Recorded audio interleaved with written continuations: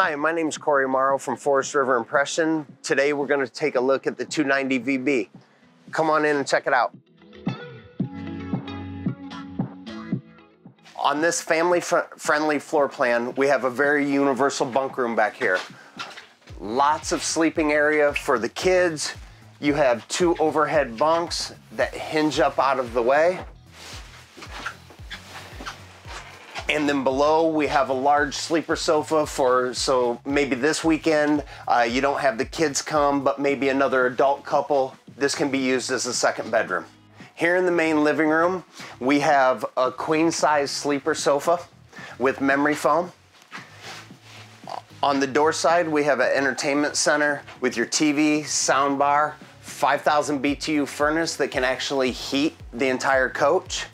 And then one of the most unique things that we do on this floor plan is a large walk-in pantry with the motion light. So lots of additional storage in the kitchen area.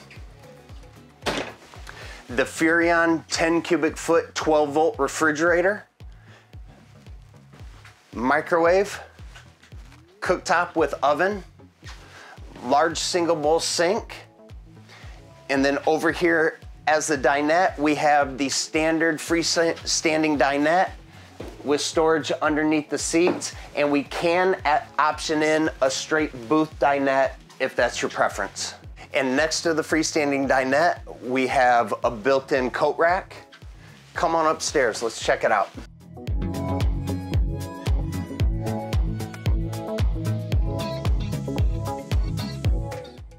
Full walk-in shower, Underneath our shower pans, we put a 5 8 inch marine grade plywood base so you don't feel any flex. It's nice and solid even around the P-trap. And even myself at 6'2 has plenty of headroom. So here we're in the master bedroom. You'll notice on this, we chose to use the Space Saver frame, which moves the step up way forward underneath the nightstand. So you're getting a full walk around queen bed.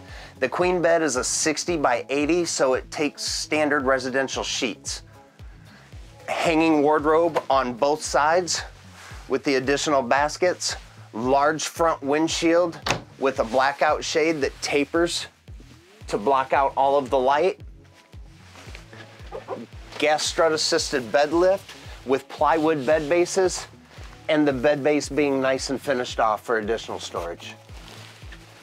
On the front here, we have a large closet that can either be used for additional storage, hanging, and it's also prepped for a stackable washer and dryer. So your hot, your cold, and your drain are already in there for you.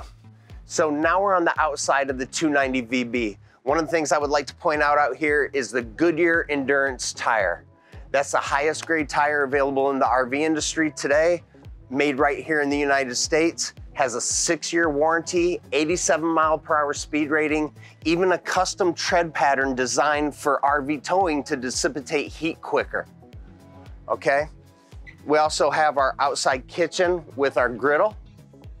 And then also a fully heated enclosed underbelly where we use four by eight sheet panels instead of one solid enclosure. That's easier for um, accessing the underbelly in case you had a problem with the front tank the service department can drop just that section, put fix it and put it right back up.